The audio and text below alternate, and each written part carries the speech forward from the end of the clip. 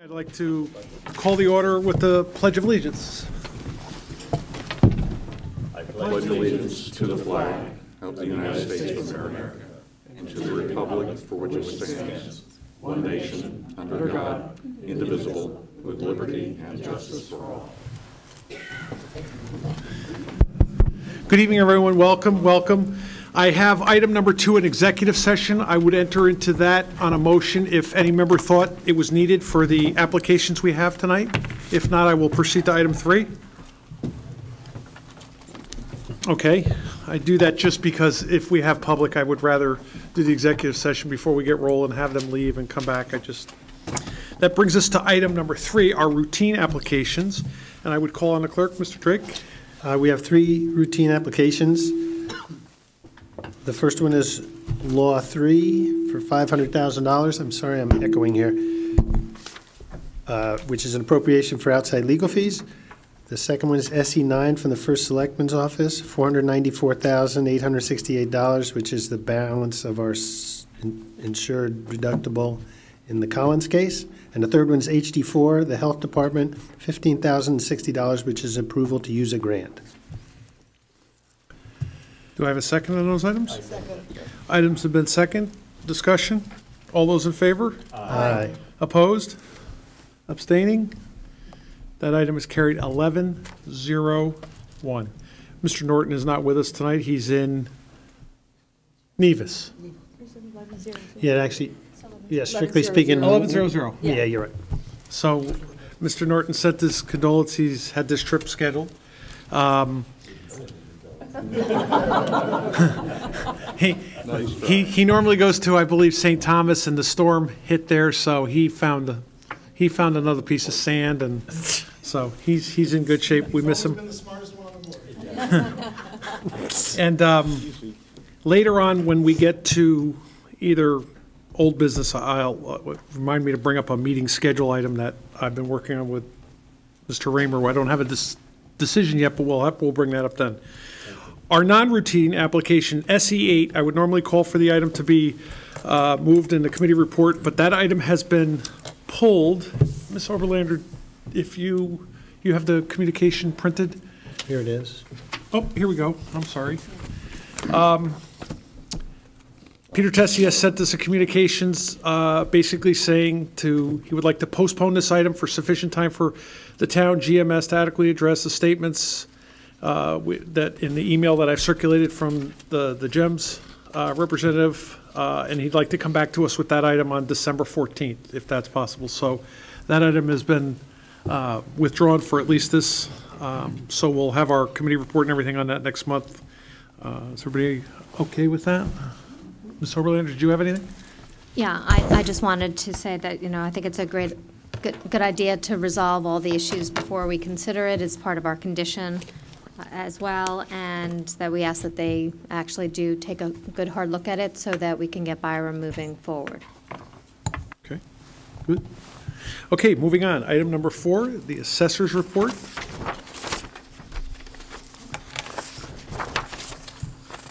Good evening, Mr. Chairman and members of the BET. I would like to present the Assessor's Report for November 2017. Um, Currently, we are working on finalizing the grand list of 2017. Um, I will be signing that at the end of January as uh, required. Um, All our residential and commercial field work has been completed, so all we're doing right now is just uh, updating those changes into our CAMA system. Uh, The supplemental motor vehicle was sent to us by the Department of Motor Vehicles. Basically, that captures all the motor vehicles that have been registered after October 1st, 2016, and before September 30th, 2017. Those bills will be going out with the real estate, the second half real estate bills in January. Um, I don't foresee any issues as far as getting those bills out in a timely fashion. And finally, for Mr. Norton's benefit, even though he is not here this evening, we settled four residential tax appeals. Um, We now have 88 uh, appeals remaining on the 2015 grand list, so um, that's down from the 166 that we had originally. Anybody have any questions for me this evening? 88 from 2015. We had 166 originally, we have 88 remaining, so we've settled the different, yeah, those. Yes? Um, Given the transition and the, I'm sorry, I'm getting an echo here, at the tax collector's office, um, that I, I guess one of the issues that may surface is concerns about will the tax bills go out on time? And um, can you address that question, or Sure. it's? I, I don't foresee any issue um, as far as getting those bills on time. Quality Data prints our bills now, and as long as I get the information to them in a timely fashion, usually within the first two weeks of um, December, all I have to do is give them any transfers that have happened on the real estate, and I have to give them the supplemental motor vehicle. And uh, Quality Data will print those bills out, and I don't foresee any issue as to those not going out in a timely, ma- in a timely fashion. Thank you. Okay? Yes. I was going to ask the, the very same questions. I was going to ask it of the controller, where I thought maybe it was more appropriate, but I'm going to go ahead and pick it up with you. Um, in years past, we um, have run an ad. The tax collector has run an ad in the newspaper reminding people that they have the uh, tax obligation to pay on their real estate taxes in uh, in, in January.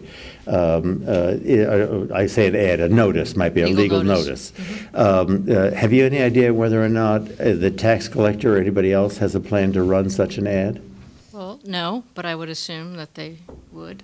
Um, Should be the normal he- he- he- Here's what's on my mind. Uh, I don't know exactly what's going to come out of Congress, Mm-hmm. but one of the possibilities are that um, the uh, income tax, uh, the federal income tax is amended Yeah, to us to delete the deduction for personal property taxes. I also don't know the year to which it would apply, but it might be that it starts to apply with the tax year uh, 2018.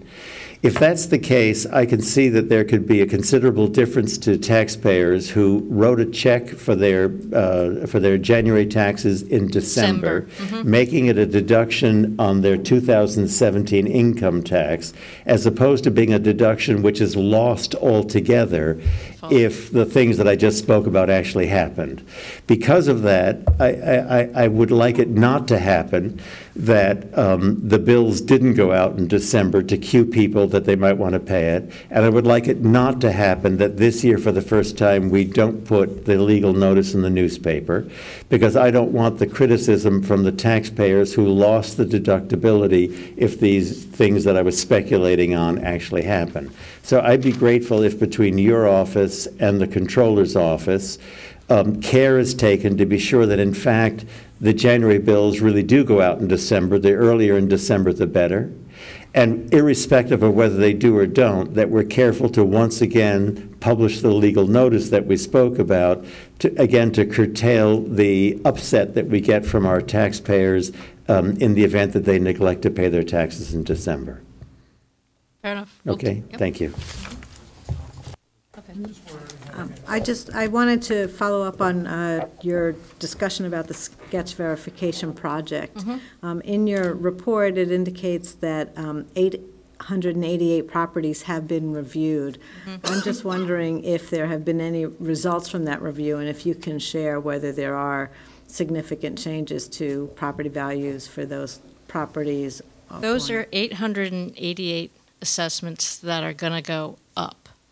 To capture that amount is hard for us to do because, let me, let me back up and, and explain exactly what happened. We did a flyover back in 2013. That's the pictometry, that's what we originally used. So there, there were a number of reasons why, when they did the flyover and we did our sketch verification, then we overlaid our, our sketches, that there's a number of uh, issues that could have changed those sketches, one of which was building permits pulled. Now, when we first got this project, we, we found that there was well over 2,000 um, errors in our sketch verification, partly because there were a number of building permits pulled in 2014 and 15. So once we once we went through that, we found that there were about 888 that were specifically no, they didn't have a building permit attached to them. I can't, there's no way I can go through my ProVal system and capture how much we are adding, taking, uh, with the, uh, adding for those 888 properties without just going through them and manually adding 800, and, and that would be kind of time consuming. What I can tell you that has ultimately happened is that I'm pretty confident that we have now captured and we have a basis from which to go from going forward as to what properties have changed.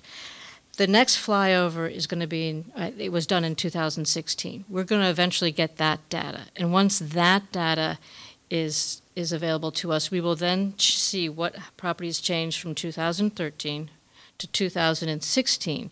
And then we'll, we'll, we'll make that and correspond that to make sure that all those properties that have changed, we actually have a building permit and we went out to that property. So that's how we're going to, to follow this procedure forward.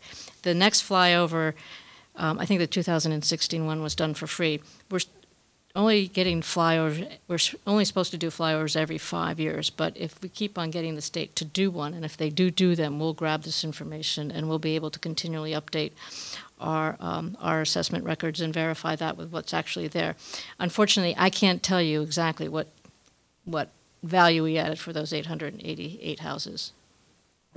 The purpose really was to understand is there, are we seeing that there are, are changes, that there's data that came out of the process that's Yes. going to impact the valuations mm-hmm. and most We're going to get some increase them. people that are going to come in and say, why on earth did my assessment go up this year? And we're going to have to say, well, I'm sorry, but we went out there when we saw that you have this two-story addition or a garage or whatever it was that we have not been taxing you on.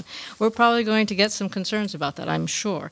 However, um, it's, it's finally brought, I think, everybody up onto the same page. We're not going to go back and and find out when those, those assessments were. We're just going to go forward and say, okay, this is what you had as of October 1st, 2017, and this is how we're going to be taxing you. Okay? So I move to approve the assessor's uh, office report. Seconded. All those in favor? Aye. Opposed? Abstaining? Eleven zero. Brings us to item number five, the controller's report. Good evening, Mr. Chairman, BET members. Just as a, uh, before I open up the questions, just as a follow-up to the uh, tax collector transition uh, questions, I've gotten a couple of emails. The, um, uh, my staff and I are going to meet with uh, Howard uh, Richmond and Larry Simon next Tuesday, and uh, I'll be bringing along my treasurer. And uh, the, the issues that we'll be trying to address next, uh, next week, at least to get the tax collector-elect on board, is the treasurer still has issues with the non-sufficient funds. We're not clear, clearing them out as quick as we should be. It's impacting the bank reconciliation. We still have issues with the credit card uh, uh, chargebacks. Uh, so them two topics with the treasurer will be addressed.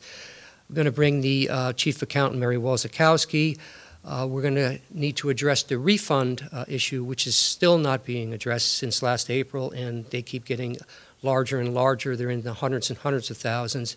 And also, we're going to bring in, um, Roland has volunteered to come to, to provide any budgetary uh, assistance, although the budget has probably been transferred or transmitted to the uh, first selectman. Uh, I don't know how we're going to handle that as far as who, whose budget it's going to be, because the January 1st or January 8th, or January 1st, I think, in the case of the tax collector, uh, you have a, a budget that's submitted by the prior tax collector in the current uh, year for the eight, uh, 1819, and then you'll have a tax collector whose budget has already been submitted. So I don't know procedurally how we'll deal with that.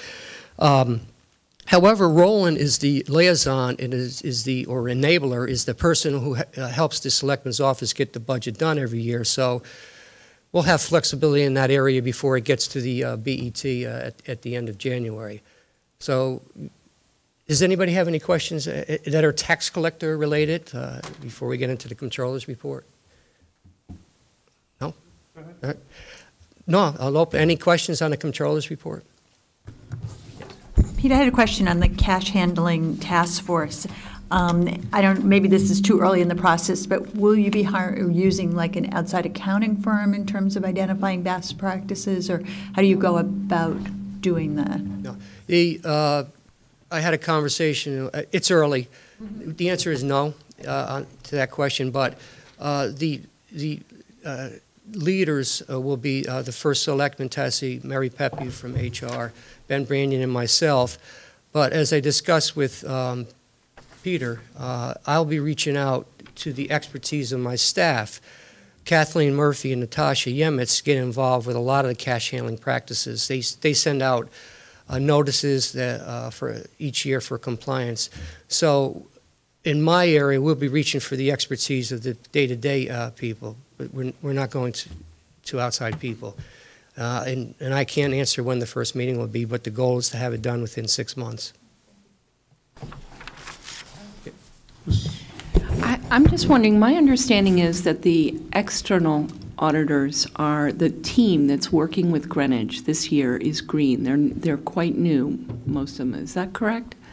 Yes. Uh, Is there anyone on their team who is seasoned, who is working with them to guide them in this? I, I, I must say, I'm, I'm really surprised that for a town like Greenwich, we would have a new group that is so inexperienced that it's possibly going to take longer for them to complete their work. Well, uh, I, I could answer that, uh, but the requirement is from the Office of Policy and Management that you have to have the audit uh, to them by December 31st. Will be way before December 31st. The goal is to have it uh, accepted uh, by the BET on December 14th.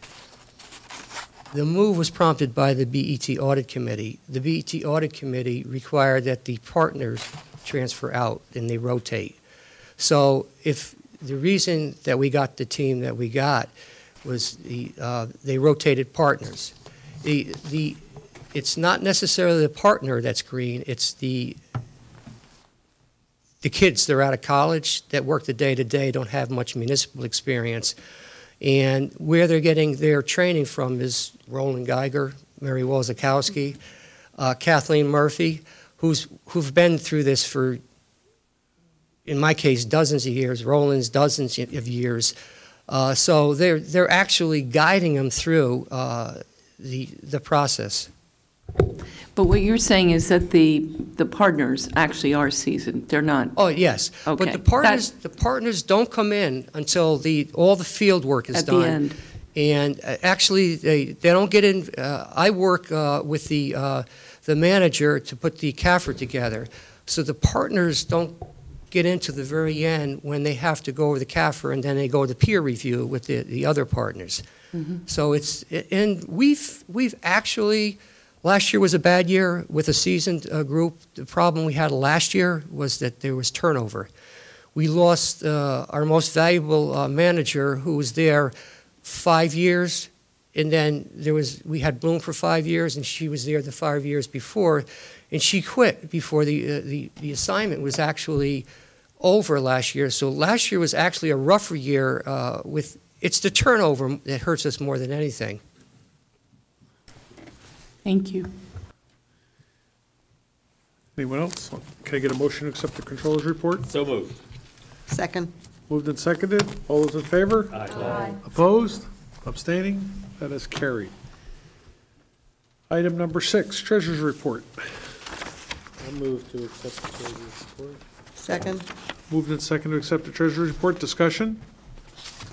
All those in favor? Aye. Opposed? That item is carried. Can't go the pages as fast. Let's see. Item number seven, BET Standing Committee Reports. Um, Obviously, Mr. Norton is here, um, the Audit Committee has a, a special meeting, I believe it's Monday. We're working with that annual audit, and our job is to get that completed and get us to approve it before year end as per state statutes on that, so we'll do that. Uh, Liaison reports? Nothing, special project teams? Special Projects Team, I'd just say that the grant commitment letter for the new Leb School came today. We knew it was approved, but the final letter came, and um, our friend Mr. Walco is very conservative. He won't sign anything till it's double, triple covered and completely locked down, so it now is. Anyway, that's good news. Good, good, good. Um, Item 10, discussion, uh, we can combine these if you want. Discussion of the Finance Department fiscal 1819 budget and operational plan, and discussion of the Assessor's Office fiscal 1819 budget plan. In the past, our liaisons normally just do this, and it gets submitted off into the Office of the First Selectman, and it gets bound and for the report. Um, This year, I just, I put them on for discussion items. If anybody had any questions, I know everybody has them, but I just, if there were any questions or comments before, why we have um, the assessor and the controller here. Does anyone have any of that? Ms. Weiser, followed by Mr. Raymer. Sure. I had a question for Lauren, and it's I- related to your achievements, I guess, for 16, 17, and I just wanted to understand what this meant. It said the bullet, and I don't think the pages are numbered, continue to develop and improve the assessor's administration system procedures to ensure adequate audit checks and supervision of changes to the tax levy. Through the departmental internal audit process, it became apparent that additional review of additions and deductions to the grand list were necessary. Additional review by supervisory staff has been established. Can you just explain? I I didn't understand what that meant. Um, We, our administrative system is our quality data system. And basically, I have the authority as the assessor, if there's a correction to be made on a motor vehicle or in real, a parcel of real estate, I actually have to um, go in, change the assessment. In order to do that, I need proof. I can't just take someone's motor vehicle, for instance, off the tax rolls Sure. without having a plate receipt or something. Um, So now, what we do is I sign them all Okay. and make right. sure that there's, the requisite proof is attached to the, uh, to the CFC, because when the auditors do come in, they can just randomly pick any one they want. Mm-hmm. I just need to make sure that when we've made a change, there's a valid, there's valid proof. Substantiation. Okay, that explains it. All right, thank you. Mr. Raymer, was that? Um, uh, To the chair, if I can, um, what's the point in time then that these are uh, submitted? Did you say to the First Selectman's office or to the Budget Director's office? Uh, When do these get submitted? Can they be, Stand by, I'll give you an answer. Peter, what's the answer then? The process, what was the cutoff for December 1st? December 1st. It's December 1st, but as I said previously, Roland is, in- is really in charge of the, uh, of the audit as far as any changes. So if, if, if this was submitted and somebody saw an error anywhere, you know, in assessors or the uh, finance, he's got all the way up with Peter till he transmits to the, uh, the BET at the end of January. So it's December 1st is uh, when the budgets are, are due in the first selectman's office. I can't tell you if, if that is actually what's happening down there. And then the operation plans were this, last Friday, right? The operation plans had to be into the uh, selectman's office by last Friday. I had one or two members, uh, I happen to be the liaison uh, to the assessor's office. I had one or two uh, uh, questions that were put that I really wasn't sure of the answers to. Um, uh, So there's still an opportunity for me to raise those questions with the assessor. Um, And if a correction were to be necessary, we could quickly make the correction through Roland's office uh, if we do so in the next week or two. Yeah, as, as long as there's coordination between Lauren and Roland, so that uh, if, if you, you make a change through Roland, Lauren knows about it, or And the vice other way around. Yeah, thank you very much. While, while we're on this, I, I was going to ask, uh, are you available after audit Monday for, for, because normally this is done with the, the liaisons for the, the various, uh, Sundays, but this year, because we're, we're running into just time constraints and everything going on, I just put them there for a general discussion, I mean, are you available Monday? It- no, It's the no, Witherell meeting. We have another meeting. We, we have the Nathaniel Witherell Strategic Planning Committee meeting uh, right after the Audit Committee meeting, so yes, I'm available. Okay, thank you. Anything else on those items?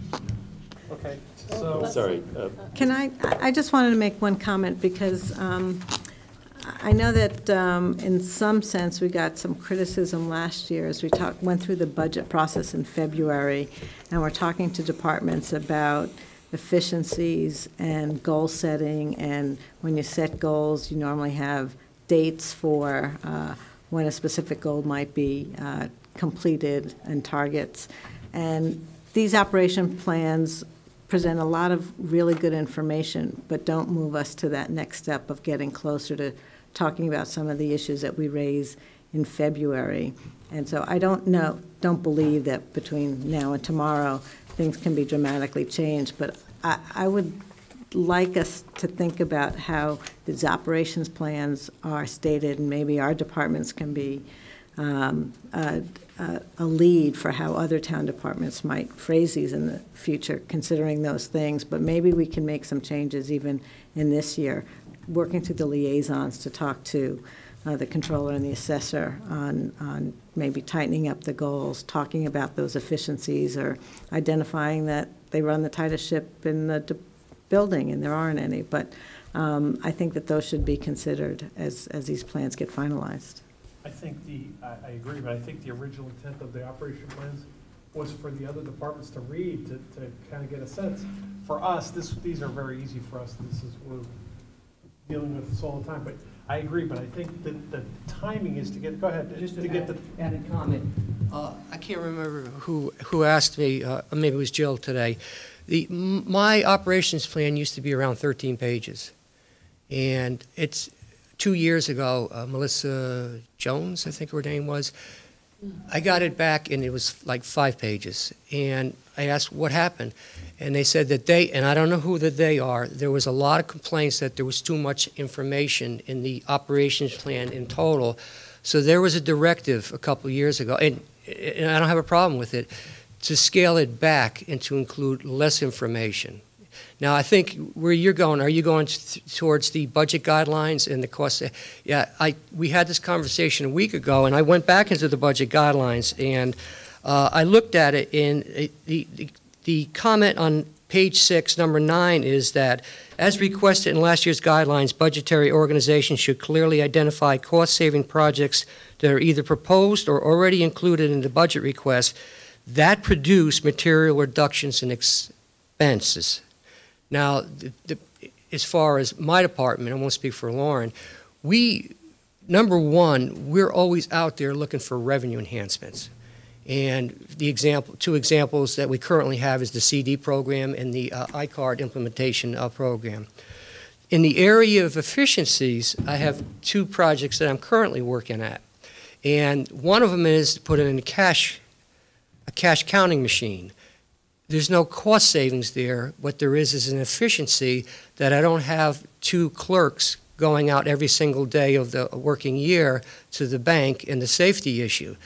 And then the, sec- the second one was the implementation of the uh, at-fault program, which we can't quantify the cost savings.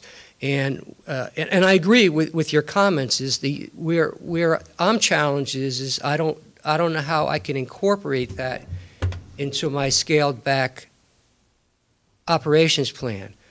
But I'm welcome to suggestions, and we're the smaller departments, and where you really can find the cost savings are in the police, in the fire, in the Board of Education. So any suggestions you have, and, uh, you, you know, we're, we'll revise the operation plans or add to it. So that was just my comment to, to Leslie's comments. Tarkington? Just to add something further, you know, when we looked at the assessor's office um, operational plan, um, we did ask Lauren to review it with her goals and her performance review of what she was to accomplish over the next year. And she did and made some um, changes to make sure it corresponded with those goals to be- for the consistency. And I think that's another thing that we've talked about, Leslie, is making sure that the, um, you know, department heads' goals correspond with the operating plan. So at least in the case of the assessor's office, um, she did review it and um, modified it accordingly. Okay. Just separating this. Okay, moving on. So I, I would expect we, the liaison should have that done before our next meeting and can report back. I, I wouldn't see any delay with that. Um, old business. Um, I don't know if this is old business or not. Uh, December thirteenth is a Wednesday, three o'clock. New member BET orientation. That will be a posted public meeting, it has to be because we're all there. Um, Obviously, uh, uh, we want to invite all of the new members, we want our current members. Um, You'll, you'll need your uh, BET policy manual at that meeting, you'll need a, a copy of the charter, you should have it all electronically. Um, Uh, We'll, we'll probably have some refreshments at that, so we'll have that. Under old business, our January meeting, um, we have a conflict with the state party uh, elections, the caucuses, the RTC and the DTC caucuses. Uh, I will put down, I have a range when I think the Republican ones are, and I think Mr. Raymer has a range of when you think the Democratic ones are, and there's a conflict with our current meeting. Yeah, um, uh, I, I made a very. Specific request, Mr. Chairman, if I may. Um, w- w- We uh, are going to be conducting the Democratic caucuses at at- in- at 12 locations on Wednesday, the 17th, at 8 PM. Uh, And I made a request, uh, could possibly the BET meeting, which is scheduled for 6:30 that same evening, be brought forward to be at 5:30 that evening, which I think is a time adjustment that we've done from time to time before.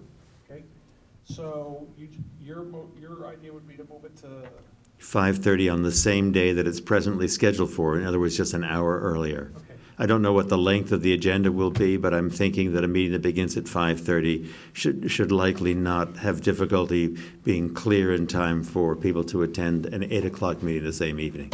and I, I reported in caucus tonight, I think we are the week before, which might affect our other committee, but we will, uh, Roland, can you make a note of that? Let's just, uh, if, if, if there's no conflict, we'll just change the starting time. So, we'll get that taken care of. Uh, moving on, approval of our minutes, October third, October twenty-third, regular meeting, So I so moved the October 23rd minutes. discussion, all those in favor? I'm sorry, One edit. On page two of the minutes, just make sure I'm on the right one, the um, October 23rd minutes, um, and under non-routine applications, SE 6, uh, the s- second sentence should read, Mr. Lash um, remarked that the Budget Committee referred this item to the full BET. And- And to delete the voting reference. Okay, all those in favor of that change? Yes, aye. Okay, any other items on our October 23rd? All those in favor? Aye. Opposed? Abstaining? Seven zero zero. Our November 1st special meeting So moved. No, Mr. Chairman, oh, sorry, Mr. Chairman, I have a correction, if I may, on the November 1st. on the November 1st. Go right ahead. Um, uh, If you read the motion the way it's couched, uh, it- it's a little hard to tell if the motion itself purported to be conditioned on acceptance by the BET of OSF approval, et cetera. It reads right now, Mr. Drake made a motion to release the condition, uh, 32,061, et cetera, for New Lebanon School construction upon receipt and acceptance by the BET of, it sounds as if we're still imposing the condition. Mr. Drake's motion was to release the condition, period. I would uh, end the sentence after the word construction, deleting the words on the receipt and acceptance by the BET of one OSF approval for reimbursement of construction, of the construction project, and two, construction bids for the project. I would delete those words. I would leave, Mr. Ramer seconded, and the board voted 12-0-0 to approve the motion. Discussion? That seems fine to me, thank you, Jeff. Okay, with that correction, all those in favor? Aye. Aye. Opposed? Abstaining? Seven zero zero. Mr. Drake, do you have anything? I do. Uh, uh, This is the first BET meeting after the election, so I'd like to congratulate the colleagues, the Democratic colleagues, on, on their success. Uh, I think that it's always been Mike's role as chairman to cooperate with the party, the, uh, your party, and to make decisions in the best interest of the town, and I'm sure that you will too. So we look forward to working with you, and, and we'll hand this over. I think Mike has never hit anyone with it, and he's never, I don't think he's ever, ever tapped it, ever tapped it in four years, but we look forward to working with you uh, in a cooperative manner in the best interest of the town. Good, congratulations. to use that weapon. What? He's got one more meeting to use that weapon. I can do a lot better than that. I actually dropped that once, and it really disturbed somebody who was speaking, so I never touched it again. Dropped it on the desk. Um, I, um, a couple things, um, we've been working on IT, and I will tell you that either at our organizational meeting or our training, met, I, I've come to learn a lot about our town emails and our devices. As you know, we've been working for almost a year to replace our devices. They're outdated, they're about six years old. IT had told us to hold off. There was a new operating system going into place. Uh, we waited for the operating system, now we're given the green light to go, so I figure I gotta spend the money before I can't. Um, But our, to make a long story short, for those of you who ever have switched out a phone, the town has a very, very sophisticated system now. And I'll go into it at our orientation meeting about when you put a, your, a town email on one of your devices, you actually authorize the town to go into your device, which means as much of a firewall as we have. There's some issues, and I, I went with, and did the phone upgrade, and I didn't realize it until this, because you just can't add your town email. The, the town has to go do it, and you have to authorize them. It was a very interesting lesson, especially on FOI issues and uh, hacking issues. So uh, I'll, I'll leave that till we get the new devices, and we'll, when we do that, we normally have a training session because they get preloaded with lots of documents for us. The charter, municipal code, all of that stuff gets loaded in for, for us. So um, I've been emailing back and forth with Ms. Oberlander, so we're just, we have to wait. And I think the IT director is going to see Peter for money, so we'll see if, how that goes for the new devices. But other than that, um, it's Thanksgiving week. Everybody's home, well, family's home from school, so it's time to go home before it shopping occurs more at my house because my daughter's home. So I wish everybody a happy Thanksgiving and. Thanksgiving to you, Mike. Mr. Chairman, I move we adjourn. All those in favor? Opposed? Abstaining? Happy Thanksgiving. Good night, everyone.